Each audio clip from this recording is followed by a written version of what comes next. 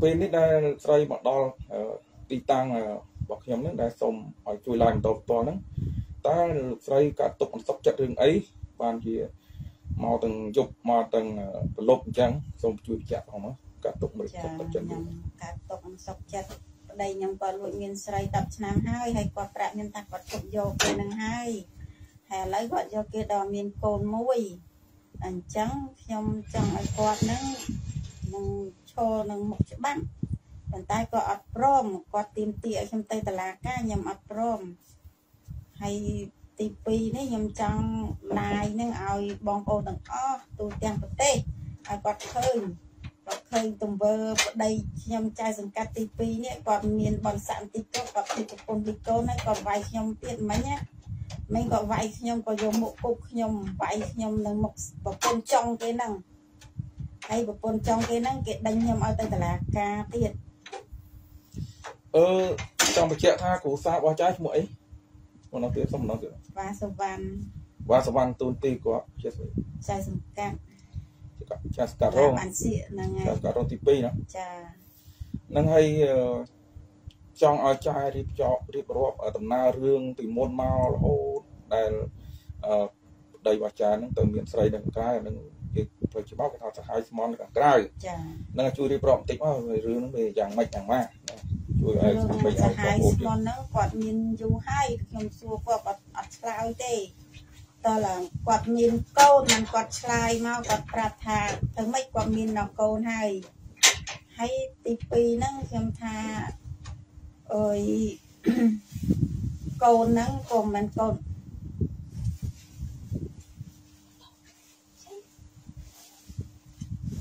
កូនកូនមិនកូនកូនហ្នឹងគេថាកូនរបស់គេហើយឲ្យខ្ញុំចាំខ្ញុំមិនចាំខ្ញុំមិនចាំទេពីព្រោះអ្នកឯងនៅសុបាយខ្លួនឯងហើយខ្ញុំចាំមិនពីព្រោះអាយុខ្ញុំប៉ុណ្្នឹងហើយខ្ញុំមិនអាចទិញចាំក្មេងរែងកូនអរត់អរីខ្ញុំឲ្យខ្ញុំចាំកើតខ្ញុំមិនចាំទេព្រោះខ្ញុំចំណាស់នឹងហើយហើយទី2ហ្នឹងតាំងពីគាត់ធ្វើការកន្លែងសង្កាត់មកគាត់មើងងាយប្រពន្ធកូន គាត់មិនដែលទុកខ្ញុំជាប្រពន្ធទេខ្ញុំនិយាយស្អីក៏ដោយគាត់មិនដែលស្ដាប់ខ្ញុំដែរហើយមិញហ្នឹងខ្ញុំទៅតន់គាត់ហ្នឹងគាត់នឹងគាត់គាត់នឹងឲ្យគាត់មានចូលរឿង5ពើសាដាក់យើងអត់គាត់វាយគាត់គប់គាត់គប់មកមុខសវត្ថភាពចំកណ្ដាលដើមទ្រូងខ្ញុំអូមានវាយទៀតចាគាត់វាយខ្ញុំគាត់គប់ខ្ញុំមកនឹងអានេះមិញណា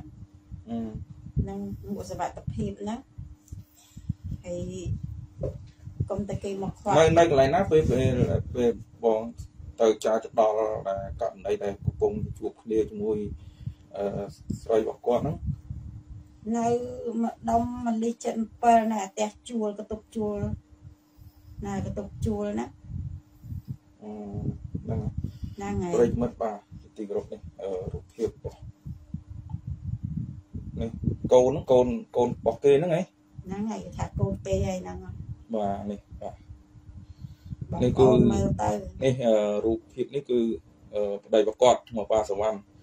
ហើយគាត់យកស្រីខាងក្រៅហ្នឹងគឺបានកូនមួយហ្នឹងកូនប្រុសស្រីចាកូនស្រីកូនស្រីចាអឺហ្នឹងហើយរូបគាត់ហ្នឹងបាទជួយមើលទៅអស់គ្នាស្គាល់គាត់មើលទៅមើលហើយទៅលោកវ៉ាសវណ្ណបាទចា បងប្អូនមើលទៅបាទជួយលាក់ជួយខ្សែផងឲ្យឲ្យដំលោកជំទាវគាត់ដឹងផងដឹងឮផងរឿងនេះដូចជាដូចជាកើតយូរហើយរឿងដែលគាត់មានសហាយស្មន់ហើយចុះហេតុអីបានយើងមិនប្រកបមានស្រីខាងក្រៅចុះហេតុអីបានចៅមិនព្រមលែងលះគាត់ហើយឲ្យគាត់ទៅសោយសុខនៅស្រីខាងក្រៅខ្ញុំឲ្យគាត់ទៅតាតែគាត់អត់ទៅ គាត់ចង់បានទ្រព្យសម្បត្តិពីខ្ញុំយកទៅឲ្យគេខ្ញុំមិនឲ្យព្រោះទ្រព្យនោះទ្រព្យរបស់ខ្ញុំគាត់អត់មានទេគាត់មានគាត់បានខ្ចីលុយធនាគារចុងក្រោយនេះគាត់យកទៅឲ្យគាត់យកលុយទៅទិញដីចការមកកន្លែងនេះខ្ញុំទុកចិត្តឲ្យគាត់មកកន្លែងហ្នឹងដីចការហ្នឹងខ្ញុំឲ្យប៉ុន្តែអាពីរកន្លែងគឺខ្ញុំមិនឲ្យទេផ្ទះខ្ញុំទុកឲ្យកូនខ្ញុំចុះឥឡូវហ្នឹងវានៅរឿងរឿងអីដែលមិនមិនដាច់ស្រេចហ្នឹងមកវានៅដើមចងដោយសារទ្របឬក៏ នៅមានមនោសញ្ចេតនាទៅវិញទៅមកខ្ញុំអត់ដឹងជារឿងម៉េចអត់ដឹងរឿងគាត់ម៉េចខ្ញុំអត់ដឹងខ្ញុំអត់យល់ពីគាត់យើងមិនយើងមិនព្រមលែងគាត់ឬក៏គាត់មិនព្រមលែងយើងខ្ញុំលែងគាត់ខ្ញុំឲ្យគាត់ចេញទៅមិនបាច់ចាំទៅកន្លែងតឡាការអីទាំងអស់ខ្ញុំមិនឲ្យទៅមិនអត់ទៅទេថាខ្ញុំសុខចិត្តឲ្យដីមកកន្លែងអញ្ចឹងណាបាទចាខ្ញុំឲ្យទៅមកកន្លែងហ្នឹងលោកគាត់អត់ព្រមគាត់ទៀមទាចង់បានទាំងអស់ខ្ញុំមិនឲ្យ ឲ្យទេអញ្ចឹងឥឡូវហ្នឹងរឿងហ្នឹងបើមិនដាច់គ្នាអឺត្រង់ថានៅទ្របទ្របហ្នឹងដីអាទ្របហ្នឹងអាបោះគាត់ដាំក្រោយនេះខ្ញុំឲ្យគាត់មើលទ្របរបស់គាត់គាត់ខ្ចីធនាគារខ្លួនគាត់តែអាទ្របពីកន្លែងនេះគឺខ្ញុំមិនឲ្យទេព្រោះទ្របរបស់ខ្ញុំបាទចាព្រោះអាទ្របនោះទ្របរបស់ខ្ញុំខ្ញុំមិនឲ្យខ្ញុំមិនឲ្យទេខ្ញុំចិត្តឲ្យគាត់ ចូលរឿងនោះដូចជាបណ្ដឹងមានមានមានដឹងទៅអាញាធរទៅថ្នាក់នាំអីអត់កន្លងមកទៅដល់បច្ចុប្បន្នកាលមុនខ្ញុំបានប្រាប់អាញាធរដែរតាឡាយសង្កាត់2ឆ្នាំមុនតែដល់ពេលហើយទៅវាមកប្រាប់ថាវាអត់វាអត់ធ្វើអីខ្ញុំទេវាអត់ធ្វើបាបខ្ញុំទេវាឲ្យខ្ញុំទៅផ្ដិតទៅទៅណែងស្បត់ឲ្យខ្ញុំទៅស្បត់នៅបឹងកំសាន្ត កំសាយខ្ញុំអត់ទៅយប់ចឹងទៅស្បត់រឿងអីគេបត់តែខ្ញុំទៅតន់វាវាថាវាឈប់យកមីនឹងហើយបើវាបើខ្ញុំយកមីនឹងទៀតអឺខ្ញុំហ្នឹងវានឹងវាស្បត់បើសិនជាវាទៅយកមីនឹងវាឲ្យងាប់តៃហោងចាអញ្ចឹងវាអ្នកស្បត់ខ្លួនវាតែខ្ញុំថាខ្ញុំអត់ជឿអ្នកឯងទេព្រោះអ្នកឯងចង់បានអ្នកឯងទៅទៅខ្ញុំឲ្យទៅខ្ញុំប្រាប់ចឹងខ្ញុំថាឲ្យទៅ ទៅចាស់តែតែកុំចង់បានទ្រព្យរបស់ខ្ញុំផ្ទះនេះខ្ញុំទុកឲ្យកូនខ្ញុំដីពីកន្លែងគឺខ្ញុំយកទុកជីវិតខ្ញុំចុងក្រោយហើយមកកន្លែងនោះខ្ញុំឲ្យគាត់ហើយសងៃនេះគាត់ចង់បានអីពីខ្ញុំគាត់ចង់បានទ្រព្យរបស់ខ្ញុំហ្នឹងណាចឹងមកខ្ញុំថាខ្ញុំចង់ឡាយនឹងឲ្យបងប្អូនទាំងអស់ឲ្យមើលឃើញផងហើយចង់ឲ្យគាត់នឹងឲ្យខ្ញុំយកគាត់គឺខ្ញុំអត់យកដែរចូលដំណាក់កាលនេះគឺខ្ញុំអត់យកគាត់ទេហើយ ព្រោះខ្ញុំចង់ឲ្យផ្ដាំទៅបងប្អូនទាំងអស់គ្នាឲ្យមើលគំរូម្នាក់ចៅសង្កាត់នឹងផងបាទតែឲ្យមើលចៅសង្កាត់នឹងផងព្រោះចៅសង្កាត់ហ្នឹងគាត់មានមុខមានមាត់ក៏បាក់មានមុខមានមាត់មានទូនីតិក៏បានដោយសារពីគ្រូសាខ្ញុំដែរចាបានពីគ្រូសាខ្ញុំដែរអញ្ចឹងគាត់មានបងគាត់មានឋានៈបន្តិចតួច គាត់ហ៊ានផាត់ក្បត់ខ្ញុំគាត់ហ៊ានផាត់ក្បត់ខ្ញុំមិនក៏វាយខ្ញុំទៀតក៏វាយខ្ញុំក៏យកមុខគុំចឹងចាក៏គុំខ្ញុំនឹងមុខស្រីវាហ្នឹងសាហាយវាហ្នឹងប៉ុន្តែកន្លងមកអឺលោកវ៉ាសវណ្ណដែលចូលផ្ទះបោះចាយនេះចេញចូលអត់កន្លងមកគាត់ចេញចូលដូចឆ្កែចឹងរាល់ថ្ងៃគាត់ចេញចូលចេញចូលហ្នឹងហើយមាត់រកគ្នាស្ដីរកគ្នាធម្មតាឬមួយយ៉ាងម៉េច អត់ទេខ្ញុំអត់និយាយទៅខ្ញុំនិយាយនិយាយទៅខ្ញុំអត់និយាយដាច់ចាញ់ខ្ញុំគាត់តាមធម្មតាលោកវ៉ាសវណ្ណគាត់មានអង្គភាពមានមេមានកោយគាត់ត្រឹមត្រូវចានឹងហើយមានបាទដល់ឡើងតបតណាសង្ឃឹមថាអឺដឹងដល់ថ្នាក់ខ្ញុំមេរបស់គាត់ហើយប្រិមិត្តយើងជួយអឺ share ម្នាក់មួយផងបាទដើម្បីឲ្យឃើញដល់ថ្នាក់នាំនៅទង្វើទាំងអស់នេះ ឥឡូវនេះគឺលោកស្រីលុកចន្ទធីភរិយារបស់លោកវ៉ាសវណ្ណចាស់សង្កាត់រងទី2កាលឡាវ៉ាស៊ីគឺការទុកមិនសុខចិត្តបាទនៅរឿងប្តីគាត់មានស្រី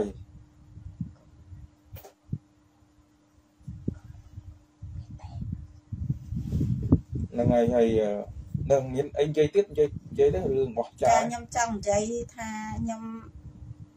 ឲ្យគាត់ទៅទៅហើយខ្ញុំអត់ចង់បានគាត់ទេខ្ញុំឲ្យគាត់ដីមកកន្លែងហ្នឹងហើយបើគាត់មិនចង់បានទេខ្ញុំនឹងប្តឹង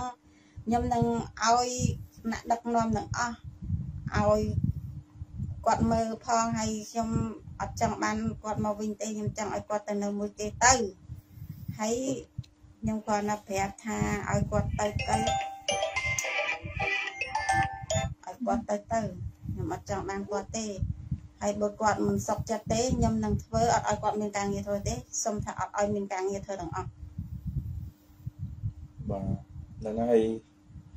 សុំឲ្យអ្នកអញ្ចឹងចាយចូលចិត្តពលាយដែរណាសុខចិត្តឲ្យគាត់ទៅនៅគាត់ទៅនៅមួយស្អីក្រៅហ្នឹងហើយតែគាត់ថារឿងប្រវត្តិមិនអាចចែកអត់ឲ្យទេអត់ឲ្យទេចាបើឲ្យឲ្យតែអីគាត់ទិញលុយទឹកញើរបស់គាត់នឹងឲ្យទៅខ្ញុំឲ្យអាញើឈាមរបស់គាត់ខ្ញុំឲ្យ ប៉ុន្តែដីផ្ទះគឺខ្ញុំមិនឲ្យទេហើយដីចកាពីកន្លែងគឺខ្ញុំមិនឲ្យដែរពីព្រោះទ្រព្យនោះទ្រព្យរបស់ខ្ញុំមិនមែនទ្រព្យរបស់អ្នកហ្នឹងទេខ្ញុំសុំតែប៉ុណ្្នឹងទេហើយបើគាត់មិនព្រមទៀតខ្ញុំនឹងឡាយឲ្យអ្នកខាងលើអ្នកអ្នកដឹកនាំពីលើមកឲ្យគាត់សុំឲ្យគាត់ទម្លាក់គាត់ចោលហ្មងកុំឲ្យគាត់មានការងារធ្វើឲ្យបាត់បង់ទាំងអស់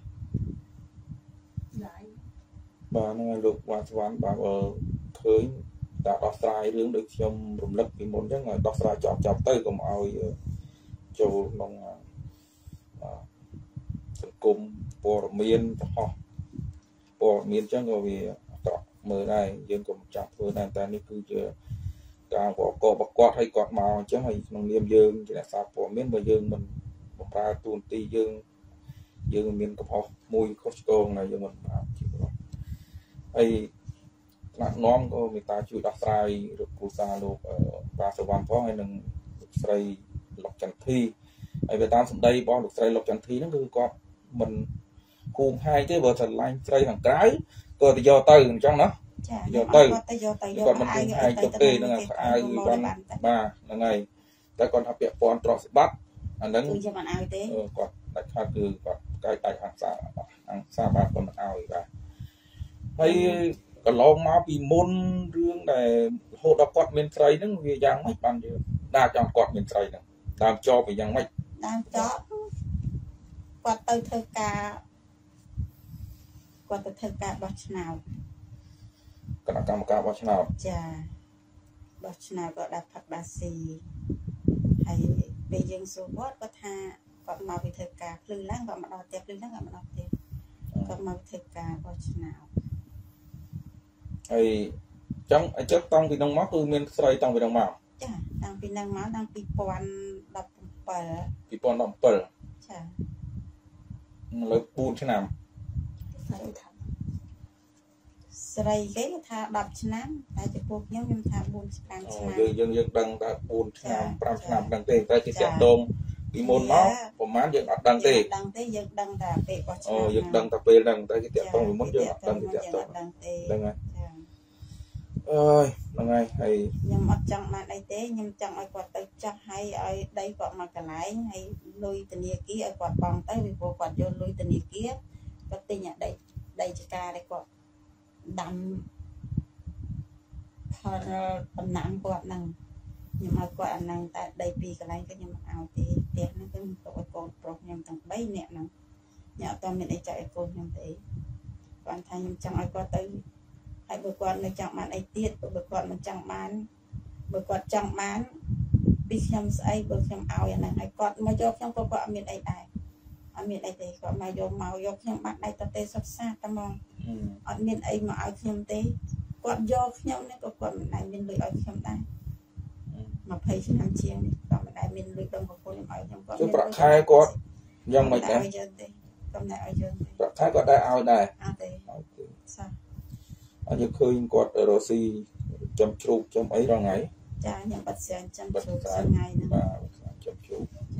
ហើយប្តីគាត់ធ្វើការនៅសាលាសង្កាត់ទូទីចៅសង្កាត់រងទី2សង្កាត់រងទី2ហ្នឹងគាត់នៅខាងដោះស្រាយដំណោះគាត់ហ្នឹងហើយដោះស្រាយដំណោះសង្កាត់បាទរឿងវិវាទរឿងប្តីប្រពន្ធលែងលះអីហ្នឹងគឺគាត់ដោះស្រាយហ្នឹងហើយហ្នឹងហើយបាទឥឡូវធ្លាក់មកលើខ្លួនឯងដោះអត់ចេញហ្នឹងដោះចេញបាទ គាត់ចង់ជិះទូកពីរម្នាក់ឯងចាគាត់ចង់បាន2ចង់បាន3អូគាត់បាន2 3គាត់សុបាយចិត្តគាត់យកទៅមួយបានហើយកុំចុះច្រើនពេកបើណាខ្ញុំចង់ឲ្យគាត់ថាប្រពន្ធមួយទៅតាមស្រួលទៅខ្ញុំអត់ខែប្រពន្ធពីរស្អីគេនោះហើយឲ្យធ្វើកតាស្នាមខ្ញុំផ្ដិតមេដៃខ្ញុំមកហើយទៅចុះតែគាត់អត់ព្រមគាត់នៅចង់ចេញចូលចេញចូលនឹងផ្ទះខ្ញុំនឹងឥឡូវបញ្ជាក់សារឡើងវិញម្ដងទៀត បើក្នុងករណីនេះគឺចាយកើតទុកមិនសុខចិត្តអញ្ចឹងហ៎បាទហើយដោយសារគាត់ផិតក្បត់យើងបាទហើយយើងតាមផ្ទាន់ទៀតណាហ្នឹងហើយហើយឥឡូវជាគាត់ម្ដងទៀតឲ្យគាត់ដឹងម្ដងទៀតគាត់ថាអ្នកមកក្រោយមិនបានលឺសូមថាម្ដងទៀតមកបើសិនជាឥឡូវយើងមានបំណងចង់បដាច់ចង្វាក់មួយគាត់លែងលះមួយគាត់ឬមួយក៏យើងចង់សម្រុករួលយកមួយគាត់វិញអឺពីព្រោះមិញ ស្រីរបស់គេហ្នឹងគេថាគេថាយើងមិញគេថាឲ្យដល់ស្រីឲ្យហើយទៅអាប្តីខ្ញុំយកខ្ញុំឬមកយកវាហើយខ្ញុំខ្ញុំប្រាប់វិញខ្ញុំថាអញមិនយកទេយកទៅចង់បានយកទៅខ្ញុំប្រាប់ចឹងថាបើអ្នកឯងចង់បានអ្នកឯងយកទៅអញយកទេឲ្យ